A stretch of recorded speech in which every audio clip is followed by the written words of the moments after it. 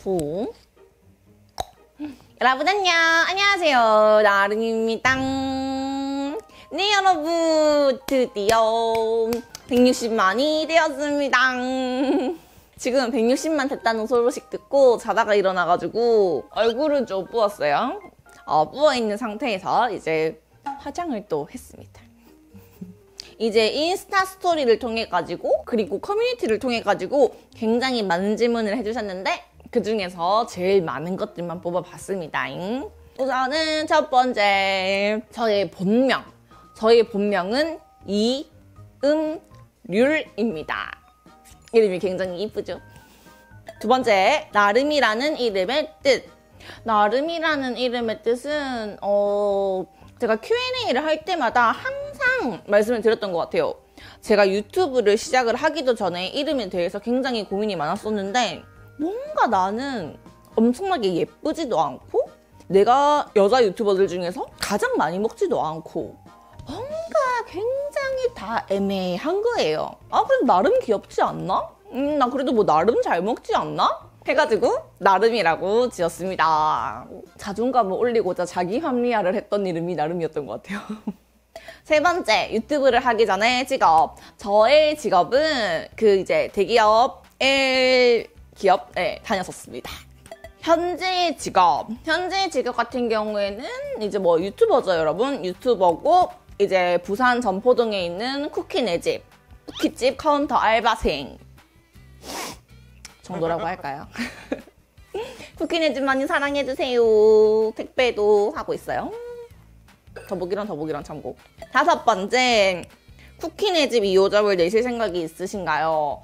음, 우선은 없는 것 같습니다. 매장 운영을 또 해야 되고, 택배 물량이 또 폭주했을 경우에 그 택배 물량을 전부 다 쳐내기가 힘들기 때문에 지금은 이제 매장 방문해 주시고 택배로 쿠키들 많이 주문해 주시고 음, 그 정도로도 만족을 하고 있습니다. 여섯 번째, MBTI. 저의 MBTI는 ESTP-T입니다. ESTP 같은 경우에는 이제 모험을 즐기는 사업가라는 근데 이게 여자들에게서 굉장히 나오기 힘든 MBTI라고 저는 그렇게 들었습니다. 근데 이게 제가 유튜브를 하면서 좀 MBTI가 많이 바뀌었던 거고 예전에는 제 쌍둥이 언니랑 저랑 둘 다 INFJ였어요.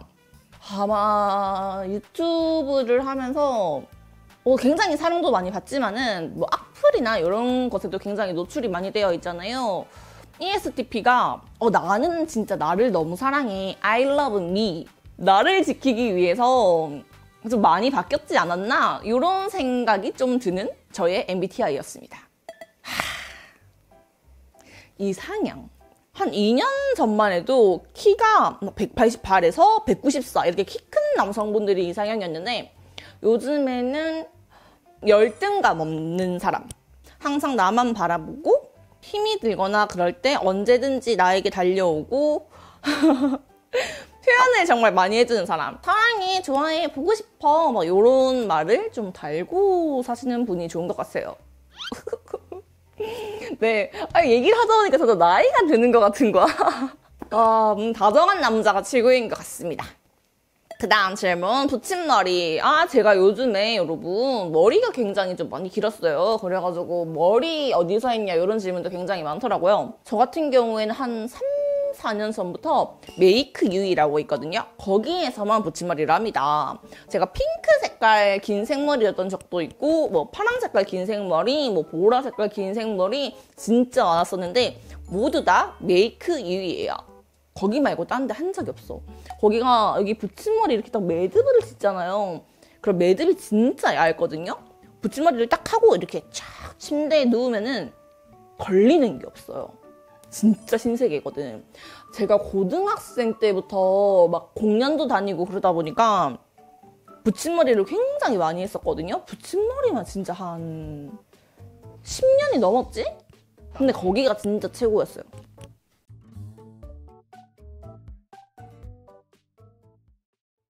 그리고 키, 몸무게. 파, 요즘 살이 좀 빠졌거든요. 제 키는 161이고 예전에는 한 49kg에서 52 정도를 유지를 했다고 하면은 요즘에는 한 45에서 많이 나가면 한 48 정도 됩니다. 아침에 쟀을 때 나 약간 소수자는 예민하거든. 47.6 정도였습니다. 라방 계획. 라방 계획 같은 경우에는 제가 아프리카 BJ 출신이거든요. 그래서 라이브 방송을 굉장히 사랑하기도 하지만은 뭔가 말 실수를 하면은 어떻게 되돌릴 수가 없잖아요. 제가 이렇게 녹화를 하면은 영상을 계속 보면서 편집을 하고 그렇게 하다 보니까는 어느 정도 좀 리스크를 줄일 수 있는데 그래도 욕심이 나니까는 팔의 타투의 의미, 어, 팔의 타투의 의미? 뭐, 학창 시절에, 뭐, 뭐, 저 같은 경우에도 뭐, 왕따를 나간 적이 있고, 뭐, 아무튼 뭐, 그랬던 적이 있죠. 그래가지고 제가 학교를 자퇴를 하고 싶었어요. 부모님의 입장으로는 내 딸은 자퇴를 하면 안 되는 거지. 그래서 자퇴는 안 된다! 라고 하시길래 이미 자존감이 무너질 대로 무너진 저는 그러면 나 타투 하나만 해줘. 내 눈에 보이는 곳에 해줘! 이래가지고 이제 팔에 타투를 하게 됩니다. 어릴 때다 보니까는 여자들에게 좀 야이 뭐 창, 뭐 야이 헐야 뭐 요런 그런 말이었었단 말이에요. 그래서 약간 나는 뭐 깨끗해, 뭐 나는 괜찮아, 나는 뭐 자존감 높아, 뭐 요런 뭐 뜻입니다. 지금은 굉장히 자존감이나 뭐 자신감이 많이 회복이 된 상태이기 때문에 지울까 생각을 하고 있어요. 그 다음에 와 신발 사이즈 저 발 사이즈 진짜 작아요. 210 요 정도 신습니다 여러분. 어 이거 이거 질문 진짜 많았어. 이 질문 제일 많았어.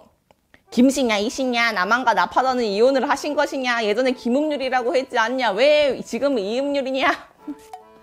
어 이게 막 진짜 막 제가 성씨를 개명을 하다 보니까는 저희 같은 경우에는 어머니가 김씨고 아버지가 이씨예요. 그래서 이제 어머니 성씨를 따르다가 제가 그냥 아버지 성씨를 따랐을 뿐입니다. 그래서 나맘이랑 이제 다름이 같은 경우에는 김씨고 나파더랑 저 같은 경우에는 이씨예요.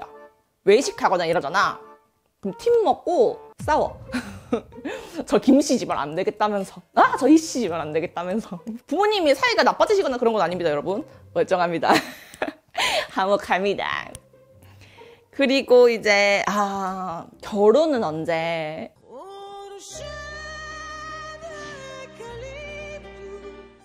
저는 제가 솔직히 결혼을 좀 빨리 할 줄 알았습니다. 20대 중반이나 이럴 때 할 줄 알았는데 부모님은 30대 중반쯤에 가시기를 원하시고요. 저는 언젠가 어딘가에 있을 내 소울메이트가 나타나면은 나는 지금 당장이라도 결혼하겠다. 어딨냐? 내 짝꿍. 마지막 질문. 외모 컴플렉스는 있나? 성형하고 싶은 부위가 있냐? 어? 있죠, 있죠. 저 같은 경우에도 이제 어, 외모에 대한 지적 굉장히 많이 받습니다. 외모에 대한 지적 굉장히 많이 받으나 또 ESTP적인 마인드를 한번 넣어보자고 하면은 I love me를 한번 다시 또 넣어보는 거지. 그러면은 아 그래도 내가 엄청나게 못생겼거나 그랬으면은 아, 여기까지도 못 올라왔지 않을까? 이런 생각을 하면서 그래도 나는 또 나름 귀엽군? 음 괜찮아.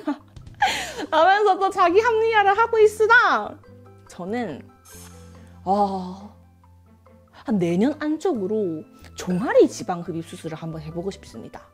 제가 살이 빠지면은 허벅지랑 종아리가 일자가 돼요. 근데 저는 약간 요런 다리가 이쁘다고 생각을 하기 때문에 그래서 한번 치마를 입으면은 뭔가 이 종아리랑 허벅지가 이렇게 일자인 게 싫은 거야. 근데 이 종아리는 아무리 살을 빼도 안 빠지더라고요. 만약에 한다 하면은 후기 말씀드릴게요. 병원명은 공개하지 않겠습니다. 절대로. DM 보내도 공개하지 않을 거예요. 그냥 후기만 말씀드릴게요. 네 여러분 그러면 여기까지 제가 준비한 Q&A가 끝났습니다. 여러분들의 궁금증이 많이 해소가 되셨나요? 일단은 지금 160만이 되어가지고 굉장히 텐션이 업이거든요. 그러면은 170만까지 가자. 그러면 여러분 오늘도 그때 끝나름 하시고 좋아요와 구독은 사랑 170만 가자. 안녕.